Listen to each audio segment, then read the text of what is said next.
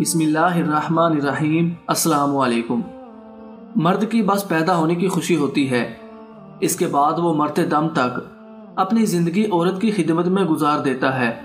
اور وہ عورت چاہے ماں کے روم میں ہو، یا بہن، یا بیوی کے روم میں ہو۔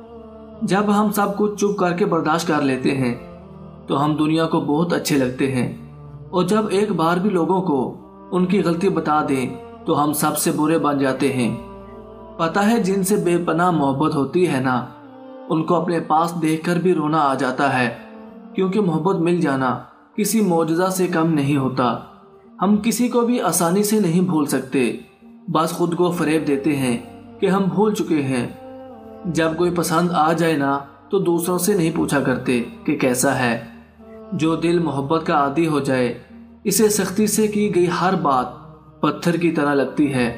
جو آپ کو نظر انداز کرتا ہے، یقین کریں، اس کی خاص نظر آپ پر ہی ہوتی ہے۔ بعض دفعہ کسی شخص کے ہونٹوں سے اپنا نام سن کر ایسا محسوس ہوتا ہے جیسے ہمارے نام کی قیمت بڑھ گئی ہو۔ آج کل کے دور کی محبت صرف حوث پوری کرنے کی ہے۔ جب تک جسم ملتا رہے گا، محبت ہوتی رہے گی۔ ایک بار انکار کیا، محبت ختم ہو جاتی ہے۔ زنا پہلے عقل کو، پھر مشکل کو پھر نسل کو بگاڑ دیتا ہے۔ اللہ ہمیں ایسے گناہوں سے محفوظ رکھے۔ گرل فرینڈ تو کمزور لوگوں کی ہوتی ہے۔ مرد تو نکاح کرتے ہیں۔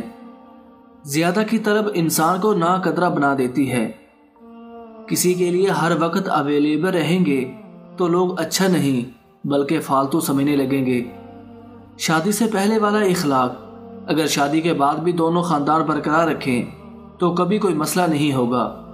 جب انسانوں سے آپ کی محبت ختم ہو جائے، تو پھر چیزوں سے محبت ہونا شروع ہو جاتی ہے۔ یہ دو نشانیاں جس عورت میں ہو، وہ چھوڑ ہی جاتی ہے، جو اکثر بات نہ مانے۔ قدر اور عزت نہ کرے اور رابطے میں نہ رہے۔